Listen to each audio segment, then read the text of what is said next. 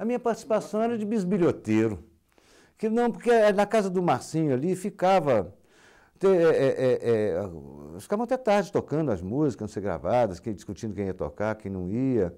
Mas eu tava, ficava mais ali de, de coisa. Eu, eu é, na verdade, era uma aproximação que eu comecei a ter de chegar perto do Bituca, né? Porque o Bituca é a pessoa mais original que eu conheci na minha vida, né, bicho? Quer dizer, fora, fora eu já respeitar, assim, porque quando eu vi as músicas dele, eu, eu já sabia que o negócio era sério demais, assim, uma coisa diferente de tudo.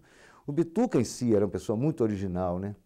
O jeito que falava tudo diferente, o jeito dele fazer humor era qualquer coisa, aquilo me, me, me, me deixava assim meio, sabe, eu não sou uma pessoa, eu sou uma insignificância para chegar perto desse cara, né?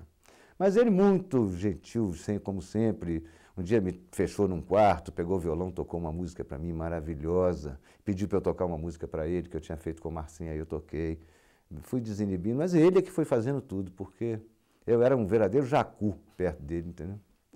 Chegar perto dele eu tremia igual uma vara.